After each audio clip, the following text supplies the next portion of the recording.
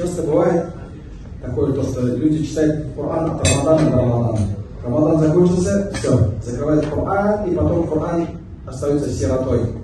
Об этом Аллах Субхану Коран сказал, уподобляя неверующих, врагов посланника Аллаха, саллаху алейхи вассалям, где Всевышний Аллах Субхану сказал, وقال الرسول يا رب إن قوم اتخذوا هذا القرآن مهجورا Посланник Аллаха, саллаху алейхи обратился к Аллаху, говорит, о мой Господь, мой народ сделал хиджру от Корана, то есть переселился от Корана, оставил Коран.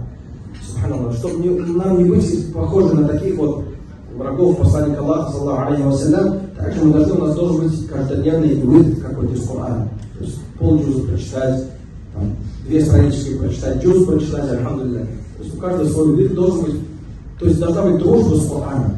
Как сказал имам Шатаби, «Хуа хайру джалиси ла юмаллю хадитhu ва тардаду язаду фихи таджаммуля». Коран самый лучший собеседник.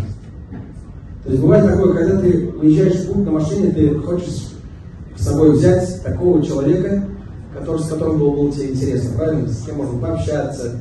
Как у нас говорят, в Сударе есть Килогатович, то есть, может быть, у вас похожие там, взгляды на жизнь и так далее. Ты не возьмешь какого-то другого. Один раз мне так попался один человек. С Саудовской Аравии до России. Я ехал на машине за до Турции, потом там оттуда паром. Не разговорчивый, скучно было, а мы вместе учились, думал, что пообщаемся, но не получилось. Поэтому, Субхан, ты всегда смотришь, что такого человека с кем хочешь. А Коран самый лучший собеседник. Если ты его читаешь, размышляешь над Кораном, самый, самый лучший собеседник. Ля. Что сказал имам Шатаби? Никогда не надоест с ним общаться. Никогда не надоест с ним общаться. То есть бывает даже человек, какого не было, но все, уже устал разговаривать и так далее. То есть даже с близким человеком пообщались, поговорили, но устаешь. А Корана никогда не устаешь. Каждый раз, Шейх Мустафа подтвердит, Сурат Аль-Фатиха, как будто первый раз ты его читаешь. Как будто ты читаешь, ходишь на намаз, Фатиху читаешь, как будто ты впервые читаешь Сурат Аль-Фатиха. Сколько раз мы Сурат Аль-Фатиха читаем, братья мои, в день? Минимум 17 раз. 17 минимум это сейчас, то есть папа, да? Спросите, надоело читать или нет? Не можем насладиться, правильно?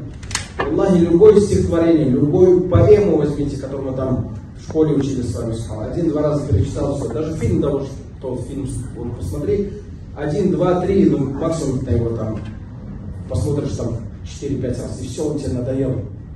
Тебе это надоело. Даже если стариков брать, например, там раньше, когда была Э, то есть старые-старые вот эти советские фильмы, там, один раз в году посмотрели, на следующий год, ну что уже, я его сто раз смотрел. Да, Коран, поэтому в день минимум 17 раз читаем, невозможно насладиться. Поэтому да, я надо харизм. Вот тогда яздаду И чем ты больше его повторяешь, читаешь, тем он красивее звучит. Любую вещь, которую ты повторяешь, постоянно она надоедает. Коран чем ты больше его читаешь, тем его он красивее звучит, и тем еще больше его хочется читать и слушать. Поэтому вот это вот, если мы нашли у нас с вами, алхамдуля, в сердцах, то можно сказать то, что мы, иншаллах, с вами из тех людей, меня Коран, из людей, которые рядом с Кораном, о которых сказал Всевышний Аллах Субхану Тааля, Ахлю Аллахи ва Хасаду. Ахлю Коран – это приближенные люди Аллаху Субхану Тааля и избранный народ Аллаха Субхану Имам Шатаби сказал, Уляйка Ахлю Аллахи ва Сафату Эти люди э, элита судного дня приближенные люди к Аллаху Субхану